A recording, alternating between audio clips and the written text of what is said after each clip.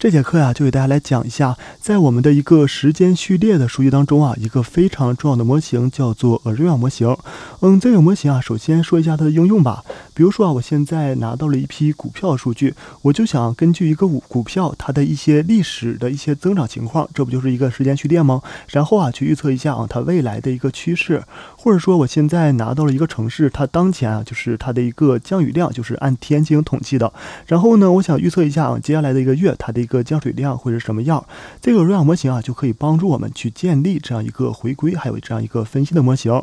嗯，首先啊，就是在咱们。具体的讲这个鹅绒模型之前啊，先跟大家来说一个东西，叫做平稳性。平稳性是什么意思啊？嗯，咱们拿的数据啊，可能就是千奇百怪的，就是长相可能是不一样的。但是呢，我们要做一个预测，比如说你今天啊，你想去预测一个股价，明天你想预测一个降水量，那这些东西啊，是不是得有规律可循，你才能进行一个预测呀？本身如果说这个东西啊，它就是随机出来的，一点规律都没有，那你还能建立个模型预测出来这个东西了吗？那就很难了吧。所以说啊，首先在我进行预测的时候，我有一个要求，就是说，嗯，我现在拿到的这个样本，也就是咱们一个时间序列数据啊，它必须是有这样一个惯性的。什么叫做惯性呢？就是说。嗯，惯性大家应该都理解，就是比如说跑步啊，我然后我突然停，我停不下来，可能再往前跑一点儿。那这个惯性啊，是为了能够让咱们预测出来一个值，就是说，比如说我现在拿到了一个一年的数据，然后呢，我想预测接下来一个月的数据，那是不是接下来这一个月啊，要跟这一年的一个走势是类似的，我才能进行预测呀？所以说呢，这又要求了一下啊，咱们数据它的内部啊是有这样一个平稳性的，必须是一个有平稳性的数据，咱们才能进行一个预测。那如果说这个数据一开始，比如说在二零一六年，它的分布是啊一种分布模型，二零一七年时候它分布啊立马就变成另外的一种分布模型了。那这个时候你还能够去把二零一七年预测出来了吗？就不能了吧？因为你要预测的时候还是用这个二零一六年那个分布去往二零一七年套吧。但是呢，如果说二零一七年啊，它就不满足这个平稳性的分布了，所以说你就没办法去做这样一个事儿了吧？那咱们的一个平稳性要求什么？平稳性啊，要求我们的一个时间序列里边的一个数据，它的一个均值啊，比如说咱们现在考虑的一些是股票的一个增长情况吧，它的一个均值啊，还有一个方差，我们让它不发生一个明显的变化，并不是说啊，它的一个均值和方差就不能发生变化，只要它呀没发生太明显的变化，我们就说啊，当前这个时间序列数据啊是满足咱们的一个平稳性的一个要求的，这个啊也是咱们的一个前提。我们在建立很多模型。的时候啊，都要求它必须是呈现出来一个平稳性，我们才能进行一个建模的操作的。那关于这个平稳性啊，在我们这个 Array 嗯这个 Array 模型当中啊，它有两个概念，一个叫做严平稳，一个叫做弱平稳。严平稳啊，它的意思就是说，嗯，咱们当前啊这个时间序列它的一个分布啊，它是不随着时间的变化而变化的。比如说，我现在就拿出来一个非常。就是就是一个正态分布，比如说这样一个白噪声的数据。那对于一个正态分布来说啊，无论它的怎么变化，它的一个期望都是零，方差都是一吧。它的一个变化是不随，就是它的一个分布情况是不随着时间的变化而变化的。那么我们管啊，就是说这种分布是不变的一种数据，叫做一个严平稳。但是这个严平稳是不是说的有些太绝对了？我们来想，就是一个数据啊，就是随着时间的改变，正常情况下它都会或多或少发生一些变化吧，让它分布保持不变，这个东西啊很难。所以说，在我们实际当中啊，一般哪位数据啊都是这样一个弱平稳。什么叫弱平稳呢？弱平稳啊，就是说啊，要保持我的一个期望和相关系数是不变的。比如说这个股票啊，这股票有涨有跌，那它就是它不可能总涨也不可能总跌吧？我让它的一个期望先是保持不变的。然后呢，它的一个相关系数就是说，嗯，比如说啊，我现在要预测一个明天那个降水量，那你明天降水量是不是跟我今天有关啊？那我今天是不是跟昨天有关啊？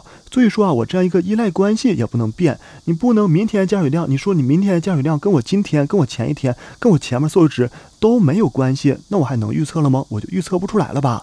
所以说啊，要保持着啊，咱们这样一个数据它之间的一个相关的一个系数是最好保持不变的。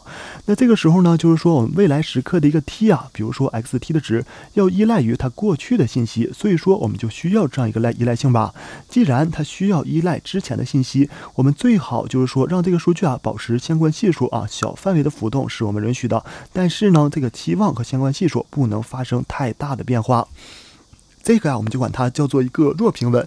其实啊，在我们的一个实际当中啊，拿到的数据基本上都是这样一个弱平稳的。你说一个严平稳的数据啊，嗯，在一个真实数据集上，我觉得是不太容易发生的，因为这个东西做的太绝对了，分布都不变，那这个事儿简直有点太容易了。大部分大部分数据还都是这样一个弱平稳数据啊，就是说期望相关系数保持不变的。那这里啊，咱们要来看一个东西，就是说，现在当我拿到一个数据之后啊，这个数据可能浮动的特别特别大。那怎么样让我这个数据稍微变得稳定一些呢？就是说，咱们第一步啊，是不是要保证一个什么事儿啊？要保证我的数据具有这样一个稳定性吧。所以说我让它的一个均值和方差不发生这样一个明稳，就是不发生啊这样一个明显的变化。那怎么去做这个事儿呢？我们有一个东西啊，叫做一个差分法。差分法什么意思啊？比如说，我现在拿出来一个原始数据，原始数据啊，它都是，比如说，这是这是 T 一，这个是这是 T 一，这是 T 二，这是一个 T 三啊，这是 T 四，这是 T 五。差分法什么意思啊？就是说，现在我要算的就是不是它真实的数据，而是它的一个差异的值。比如说用 T 二减 T 一，然后 T 三减 T 二，T 四减 T 三，T 五减 T 四，用每一时刻就是差出来那么一时刻，然后进行一个求差，把它的求差再拿出来，我就得到了这样的一个一阶的差分，就相当于是现在我把这样时间给它错开，时间错开之后呢，就是错开一一个时间点，错开了一个时间点之后啊，我让它对应进行一个相减，就得到了一个差异嘛，用一个差。分法可是以使得我这个数据啊变得更平稳一些。嗯，在这块儿，咱们先给大家来举个例子啊，看一下这个差分法怎么去做啊。我们还是用 Pandas 帮我们去做这个东西。嗯，首先啊，就是先大家来说一下啊，这块儿这块儿一会儿咱们再说吧。咱们先看吧，就是咱们先讲概念，讲概念的时候我就不具体说这个数据了。假如说啊，现在你拿到了一个数据是长这个样子的，这个数据啊，就是横轴啊，就表示着随着时间零五年到一五年这样十年的一个数据。然后这个十年数据当中啊，其实它是一个月一个月进行一个，就是这个。呃，零五和零七之间啊，其实它是有二十四个点的，就是说每一年啊，我们选择它的一个月份当是一个点。这个纵轴呢，表示这就是，嗯，就是消费者他的一个信心指数啊。这个数据反正就是描绘着是随着时间的变化，这样一个消费者他对商品的一个对商家这样一个信心的一个指数变化的情况啊。咱们也不用管什么是信心指数，只要把这个数据啊拿过来，我们先来看一下这个数据，我们来看哦，它的一个分布怎么样？分布变化差异特别特别大吧，尤其是从这个值的差异上来说，那这样的一个数据是不是跟我前面的说的有些矛盾啊？它不符合咱们一个平稳性的要求吧？那怎么办呢？首先啊，我需要先对我的数据做这样一个差分吧。做这样差分，就是说让我的一个时刻值对应进行一个相减。做完差分之后啊，它就能呈现出来一种，能不能呈现出来一种更平稳的趋势呢？现在我也不知道啊，咱们来一起来看一下。前面代码咱们一会儿再说，咱们先来说差分的地方。你要做差分很简单啊，就是说，首先我用一个 Pandas 把我的数据读进来啊，就是上面我是用 Pandas 把咱们的数据读进来了。用 Pandas 读进来之后啊，然后我取到数据当中的这个有数值的这个列，然后呢，直接啊对它进行一个属性，就是点 differ。点 differ 里边啊，就是你可以传进来一个值，比如说你要一个时间间隔的点啊，比如说现在咱们这个有一月份和二月份，那你用二月份去减一月份的，这是一个时间间隔；三月份减一月份的，那是两个时间间隔。在这里传个一啊，就是做这样一一个时间间隔。然后呢，一个时间间隔啊，我算这样一个差分值，算出来差分值啊，我再把它这个数据啊。保保存到我当前的一个 data frame 当中，给它指定成一个新的列，这就是我的一个一阶差分吧。那我们想一下，一阶差分之后，我们得到了什么？还是得到了一个时间序列的一个数据了吧？那对于这个一阶差分完的数据，我能不能再对它做一个差分呢？也是可以的吧。比如说，这是我原数据，然后做完一个一阶差分，得到了右边这个数据。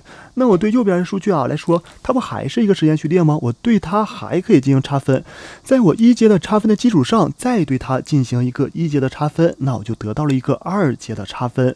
二阶差分什么意思啊？不是说在原数据上做两次，而是说在原数据上第一次得到了一阶差分，第二次呢再在一阶差分上做差分，我就得到了二阶差分。这样就可以把咱们的一个结果得到了。然后来看一下，这是我的一一阶差分吧，是在我原始数据上做了一次差分。然后呢，我们来看这二阶差分，二阶差分是在什么上？是在我一阶差分得到值吧？这么来看，这是一阶差分吧？